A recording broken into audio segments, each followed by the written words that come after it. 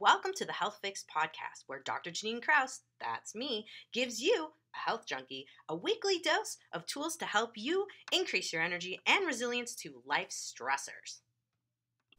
Hello there, health junkies. Welcome to another episode of The Health Fix. I'm your host, Dr. Jannine Krause, and on today's episode, I'm interviewing Dr. Erin Kallock.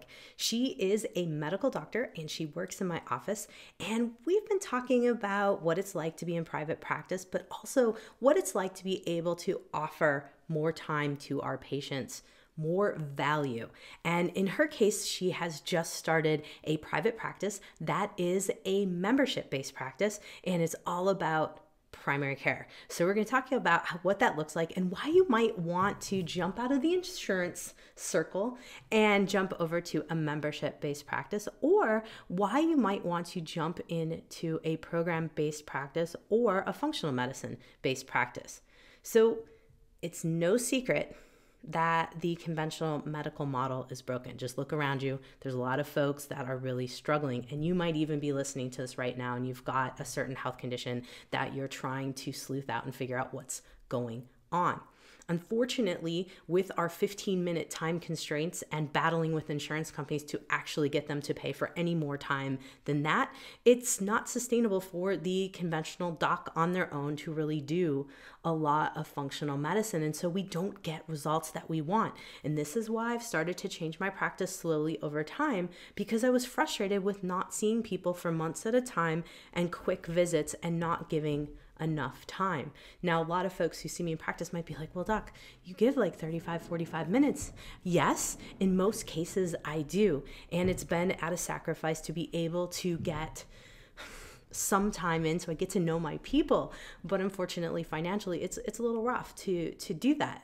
I don't need a pity party though. I'm only mentioning that just because I want you all to understand then it's not the conventional medicine doctors' faults out there. It's not that they don't want to listen. It's not that they don't care. It's really truly that they are under constraints based on whoever their employer may be. And so you'll hear a little bit about that from, from Dr. Erin as we move through the podcast. Now, at this point, why would you want to see a functional medicine doc? Why would you want to go to a private practice that is a membership based practice when you pay for insurance? Because insurance is expensive. Well, here's the thing. Having extra backup, someone who's going to help you to sleuth out issues, actually saves you time and money in the long run. Because your healthcare is much like a it should be much like a relationship with your practitioner.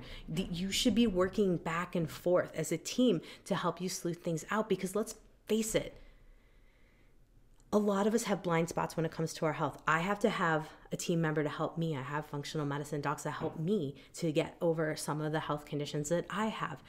You need someone that can bounce ideas off you versus a family member. You need someone outside of your inner circle to help you to navigate you through. And so, what kind of problem do functional medicine docs and private practice memberships solve? They give you the time with the doc to be able to form a relationship so that you get to know each other and you can predict and identify things that are going to be issues in the long run and right now. You have time essentially to sleuth out your issues. Because really, when it boils down to it, someone who knows you and is working in a relationship as a team with you for your healthcare and guiding you versus authoritating or it's not a word but being authoritative with you it, it, doesn't work. We know that this conventional medicine model doesn't work. And so if you are struggling with a medical condition and you're not getting results you want to consider finding someone who's a good fit with you. You drive you get along and you know that you can work together to help move you forward. It's worth it to spend a couple extra dollars for that type of relationship, but also for the specialty labs so that you can look into things and explore things further. So, really, what life looks like when you are working with a functional medicine doc or a doc that's in private practice that can spend more time with you is that you're gonna get better care, you're gonna get better results. Someone is going to be more accountable for you because they're gonna be looking and checking and seeing what's going on. How are things going? checking in is probably the biggest factor that I see as what is lacking in terms of someone sticking with a protocol. Think about this how many times have you went into the doc and you completely forgot what they said to do or all of the recommendations? A lot of times in the naturopathic doctor's office, we give 5,000 things for you to do because we're so excited and we want you to have all of the stuff because we might not see you for a couple months.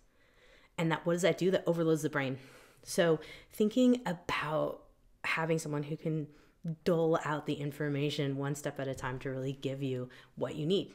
Now, how can you get a hold of someone like me in your area? You can go to whatever browser you use and put in functional medicine doctor that specializes in whatever you need help with. Or you could put in naturopathic doctor as well. Or you could look for a private primary care practice just like Dr. Erin. So I've been talking all about myself, but I definitely want you to get a little insight into someone else's practice and why you might want to choose a membership based primary care practice in addition to something like a functional medicine practice. So let's meet Dr. Erin. Erin, thanks for coming on the Health Fix. Thank you so much for having me. So of course, you know, a lot of people are looking at alternative ways to to get their health care because, well, unfortunately, we are a sicker nation uh, day by day, unfortunately. And the average doctor's visit doesn't usually get us what we want. And a lot of people come into my office complaining, like, Doc, I was told that I could only discuss one problem and I barely had five minutes with the doc. Now, of course, you come from the conventional medical model is is that what you found too in in your practice in the conventional world? You you could only discuss one problem and 15 minutes was all you were allotted per patient. Uh, that was definitely the the goal purported by management mm-hmm. you know right? There it was couched in in talk about helping us become more efficient you know maintain our empathy and and help patients, you know, listen well. We had uh, in in the healthcare system that I worked in, we had physician coaches that would come around and and monitor, sit in a visit with us and and help observe and then comment about how we could uh, communicate better with patients. Mm-hmm. And so there was there's even in the conventional model, there's definitely a desire to give better care and listen listen well but at the same time you're monitored uh, uh, in terms of and and compensated in terms of how many patients you can see in a day and whether or not you can get all the administrative tasks associated with those visits completed in a in a certain amount of time for medical legal reasons and all that. So there was there was you know seemed a lot of talking out of both sides of of the mouth right from the management that on the one hand yes we want you to to be there for your patients and and do what what needs to be done and do it well and and in a caring way. And also we want you to see this many patients and if you get behind on your charting then we aren't going to pay you what we promised. We're going to pay you some lesser amount. So there was there was always that tension yeah. Yeah. And I know that I'm putting you on the spot a little bit like that. And and really it's not meant to to be, you know, any anything to the conventional med- medical model. I mean, honestly, it, it's they're all businesses. And as a business owner myself, I started to see why it was a time crunch because we are paid via insurance on time. And and that is the reality of things. And unfortunately when you also have to squeeze into that time your administrative duties just like we had talked about before i often spent two to three hours after a regular day doing all of the admin. And so at the end of the day sadly the patients pay the price because we cut into that because of course we want to get paid too. So that leads me into moving forward and how we can kind of get folks a little bit better care but before we move into talking about your your private practice that you have now i'd love to hear about your stories to how you became a doctor did you want to be a doctor since you were a kiddo how how did it play out for you uh, so I actually grew up uh, in a small town in Washington State. You know, no stoplight, dairy cows, that whole thing. Uh, and and we had family docs. We did not have any specialist to my knowledge. And my family was healthy enough that we never had to seek care outside of our little town. So I really only kind of knew about family medicine. And I would walk down to the family medicine office after school if I needed xyz right and i could talk with those docs and know that they weren't necessarily going to tell my parents and that was this i had a relationship with them i was in school with their kids you know so that was the kind of medicine that I had in my mind when I went to medical school. And it wasn't until medical school really that I realized, oh wow, there's a lot of there's a lot of different fields, you know.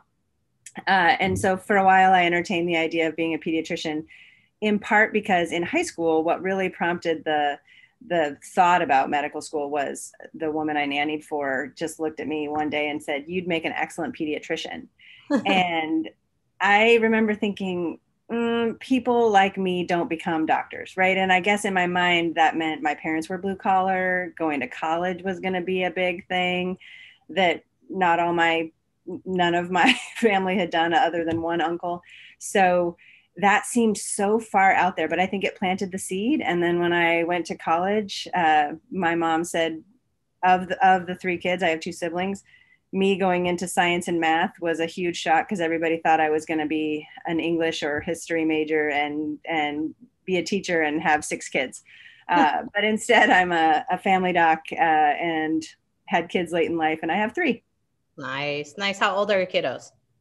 Uh, they are nine, eight, and six. Wow. Wow. It's a, it's a good range though. It gives a little bit of break in between. I mean, nine and eight's a little, but then the six that I think it's a good, it's a good range. You're, you're still pre hormones yet. yeah. I'm going to have to learn more about hormones in, in that realm. Ooh, yeah. Well, you know, one, one day at a time, right? One day at a right. time. Now, I I love the fact that you talked about the like the family doc where you could just go and hang out. That's kind of what I had when in my head when I started coming up with the idea of how I wanted my practice to look. I knew there were specialists. I grew up in a little bit more of a suburban area outside of Chicago, but I I just loved having that connection with my my practitioners and my my story is more that I I I hijacked my mom's car while she was going for chemo treatments and she was going for acupuncture. And I was like, I'm your driver. I will get my driver's license. And thought, you know, all I was going to do is get my driver's license. But really, I ended up realizing how cool acupuncture was and how that doc just kind of invited you into his practice. And mm-hmm. so I love the idea of having kind of that door open where you know you have questions you have things of that nature and and you can just bring them into the office much like old school medicine was and i wish it's you know we can revive it and that's i think what you're doing. So you have a practice that's a membership practice which means folks have more access to you. Mm-hmm. will you tell us a little bit about how that looks? Because i think this kind of brings to light that old school family medicine doc with the new twist. Right. Uh, that's the hope. Um, direct primary care was actually started a couple decades ago by people who trained me actually uh, in Seattle based on that desire to have a, a focus again on the doctor patient relationship, a direct relationship between the doctor and the patient without the middleman, uh, without management and bureaucracy and all of that, which stems from insurance. The idea was that insurance was really hurting more than it was helping. And and there's a place for insurance of course and there's a place for the tertiary medical center but knowing that 80 plus percent of what patients need can be achieved well in the primary care office if given sufficient you know time energy and access uh, they really wanted so dr Erika and garrison bliss wanted to bring that back. So they boldly did that uh, and i'm benefiting uh, and the idea for me is that well to back up a little bit i had a couple of patients uh, that left my corporate medicine practice that i knew i had a good relationship with. So i called both of them and just asked what what happened? You know and both of them one of one of them it was a similar story but the but the one gal she said i know you're part-time. I was willing to wait for you but i got in a car accident. My neck hurt and I wanted to know that I was okay and I wanted to be treated. And your office told me that they you couldn't see me for two months. And they told me that they talked with you about it and that you couldn't squeeze me in.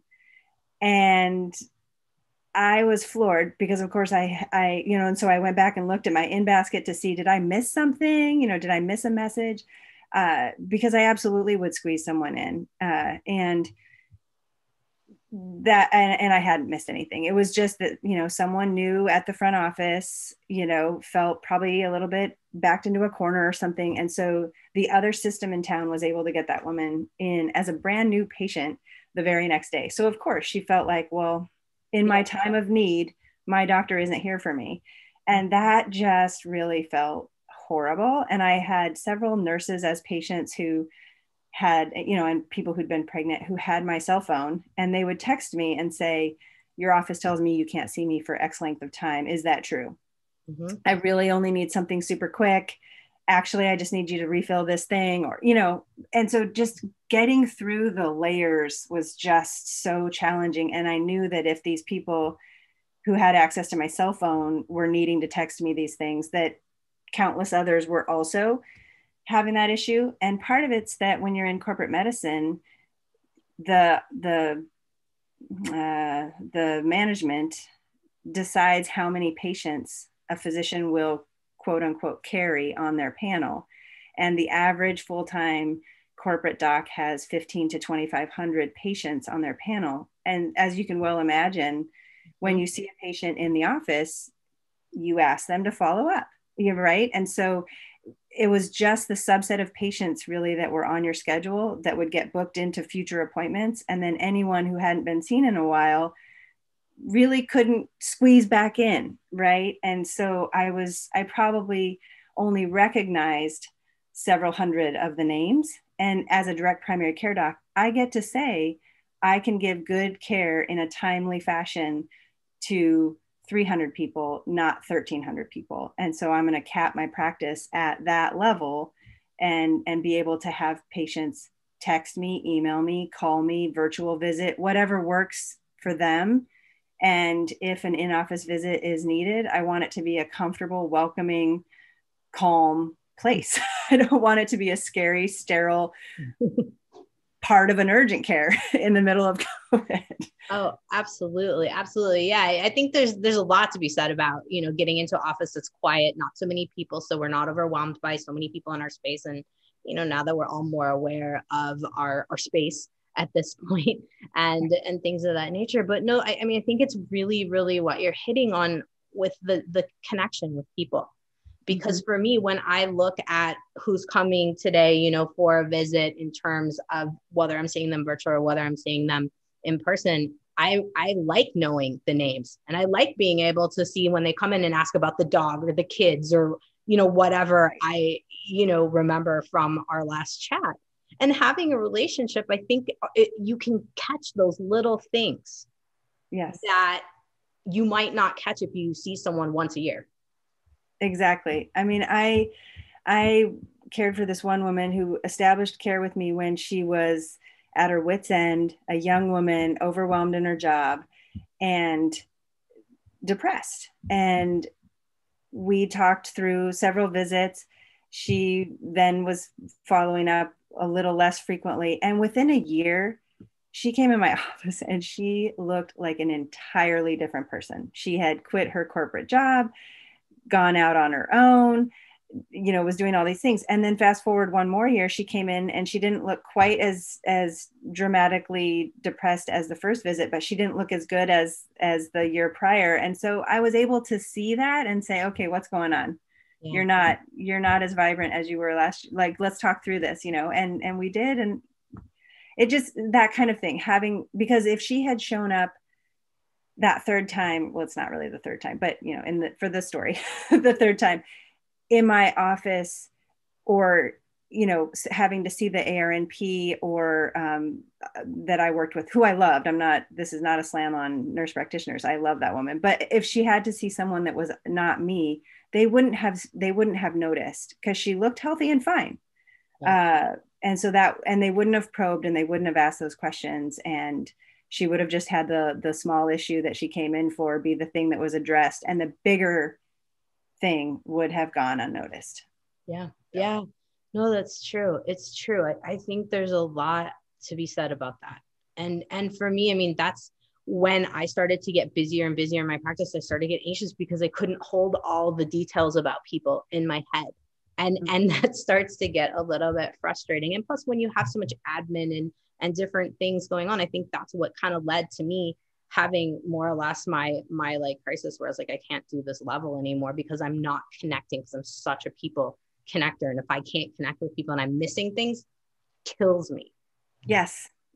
Yes. And and I think if you I mean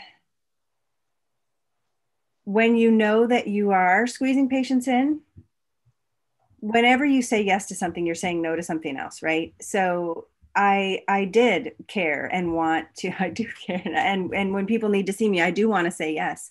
Yeah. uh, and that would invariably mean that I was disappointing someone else right? Either I'm disappointing the staff who's supporting me and now they're late to lunch or they're late getting out of work or they're anxious because they're not going to make it to the daycare on time or it was their night to make dinner and they're not going to be able to or i'm disappointing the patients who are waiting in the waiting room because their appointment was at 10 but the 9:30 patient had you know a lot going on and i'm me and i listen. So or i'm disappointing my family because i'm not home on time or by the time i get home i know that i still have 3 hours worth of work to do. So i'm sort of half present um, at the dinner table and rushing bedtime so that I can get back upstairs and you know do the rest of the stuff. So that kind of model where you just you have a ton of patients on your panel and you you're literally squeezing people in back to back to back to back all day and not taking time to you know go to the bathroom or eat or chart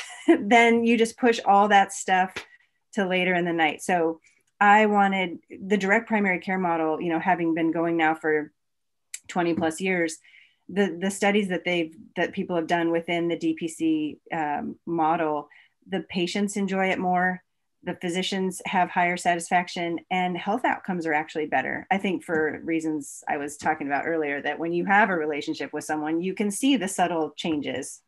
Yeah.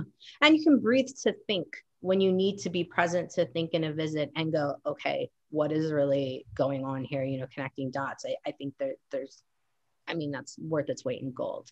And mm-hmm. that's why I do love the, the direct patient care model. Now, I think a lot of people might be listening right now and going, okay, so what all things can you do in, in your office? You know, because I think for a lot of people, and, and that was one of the questions that was brought to me in, you know, when I sent out the message and said, hey, I have Erin in my office. A lot of people are like, okay, what can she do?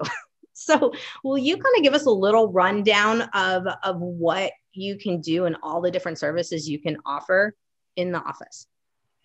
Uh, yes and no. Um, so family medicine uh, is a is a specialty that uh, so I do medical school and then or I did medical school and then a three year residency where family med docs learn to do uh, what we call cradle to grave medicine, but it's really like obstetrics and cradle to grave. So, uh, and then I did an extra year of training in rheumatologic and women's health and OB. But in the direct primary care model, I'm not doing obstetrics. But I can see, um, I, I will have home visits for uh, newborns because I, I know as a as a postpartum person, going to the office to bring in your small little bundle for a weight check and make sure they're feeding okay and thriving is scary and cumbersome. And in the time of covid i'm sure that much scarier. Uh, so i'm i'm planning to do that as well. But so i do all the things for newborn through um, elderly care with the caveat that medicare in a direct primary care practice, I, have opted out of Medicare. Uh, so patients would have me, p- patients who use Medicare would have me as a um, kind of an extra, you know, if similar to if they had an acupuncturist or a massage therapist, or they need to pay cash for that and not ask Medicare to reimburse them for that. But um, in terms of actual services, I do all the things for women's health. So, um, you know, pap smears, pelvic exams, uh, STD testing. Um, what else? Um, man, you know, breast, breast, breast exams. Although you know, there those are the evidence is suggesting we go away from it. But yes, I'm trained. I know how to do them. If there's something to evaluate, I would evaluate it. Um, all the simple procedures, you know, like laceration repair, biopsies, uh, you know cryotherapy things you know you have skin issues of various sorts. I i know how to remove toenails when they need to be removed which grosses a lot of people out but it's actually a very simple straightforward procedure. Um, awesome. i do i do joint injections and trigger point injections. Uh, i'm learning aesthetics so that's a to be to be determined uh, coming down the pike kind of thing what else would be depre- I, I do mental health stuff um, primary care really runs the the gamut. Yeah i think you know sometimes people are thinking like hey dr Erin, i have a, a uti can i come in and will you dip my urine? Or hey yeah. i just sprained my ankle. Can you look to tell me if i need an x-ray? Like that kind of yeah. stuff. Yes. And, yeah and and actually my patients from before who have, I guess, been looking on Google to see if I'll pop back up. Um, several of them have messaged me and they say, Well, can you still do this? Can you still do? And I keep saying it. I'm the same person with all the same training. Uh, it's just going to be a little bit of a cobblestone road instead of the Autobahn in terms of, of setting up all the different things that when I was in a corporate structure, I walked into the office and I just got to practice medicine and I and I got to rely on the office manager to have all the supplies I needed for a biopsy or all the supplies I needed for, you know, ultrasound or, you know, all this stuff. So I'm acquiring those things as I need them uh, based on patient demand. Perfect. Perfect. No, I think, you know, we we have the opportunity today to kind of just share everything because I think a lot of people are like, I don't, rem-, you know, medicine is now very confusing to all of us, even us in the field when it comes to insurance. And so a lot of people are like, so if I go to you, can I use my insurance to pay for the labs? And so right. folks are looking at that kind of stuff. I know a lot of people, obviously, with the direct patient care model, guys, this is cash based practice. But when you pay cash, the value is in that because you get time and she doesn't have like you already heard she does not have 1500 2500 people in her caseload. And and so now she gets to know you. She develops a relationship with you. It's much like having your partner or guide in your healthcare here and that that's how i see uh, direct care. You're not getting just someone who's going to crank out the you know motions. Like you actually are going to follow up and care. Now another one that i was asked which kind of follows up in the biopsy and i'm just going to say it because i know that someone's going to ask me about it lipomas. Can you remove lipomas? Yes and no. Okay. uh, you are. don't have to remove them. If they're painful in the way you know they can be removed depending on location and size, it can be safe and easy peasy in the office, but it also can be something that would best be done in a in an office uh, like a general surgeon's office. So it really de- it really depends size, location, all that. And I think that would matter too in terms of biopsies too, what you're getting into in that department. Right. And, yes. and we were talking cryo. I have a lot of people that ask a lot about plantar warts and finger warts and all yes. of that stuff. Right. And so cryotherapy would be mm-hmm. or or podophyllin, like the the topical types of things would be right. Mm-hmm. Perfect. Mm-hmm. So you've got quite, I mean, it's, it's a, a broad spectrum of things that you can do. And so, you know, looking at this model, I think it's a great way to be able to provide care. Now, in terms of your ideal patient? I love to always ask this. So if you have someone that, you know, just comes in and you're going to work well with them, what, what's your ideal patient? I've thought a lot about that as well. Uh, and I, what I've boiled it down to in my mind is somebody who wants a partner in their healthcare. Mm-hmm. Uh, and this is this is true when i talk with my friends in in various fields of medicine that when you have and teachers i mean it's not it's really not different than than teachers love to teach students who love to learn. Uh, you know doctors love to work with patients who love to learn and are on a, a path of of attempting to be the happiest healthiest person they can be right? Uh, and that doesn't yeah. So I, I mean because i do i want to partner in health. I want to i want to be someone's coach and guide and offer the you know offer up the hours and hours and hours i spent in medical school learning you know minutia so that you don't have to uh, but I, I believe people do do best with people that they know, like, and trust. So I want people to be able to know, like, and trust me. I want to be able to know, like, and trust them, and and partner together to achieve whatever goals the person has. And that doesn't mean that if someone says, um, you know, I always ask, are you ready? You know, this is listed here. You've listed this as an issue. Is this something that you that is top of mind for you? Or, you know, do you want to work on this thing right now? It's okay to have we all have health issues that are that are sort of vaguely in our brain and if someone asks us, we're going to list them, but we're just not ready to to tackle it yet. And so I think honest and open communication is is important there.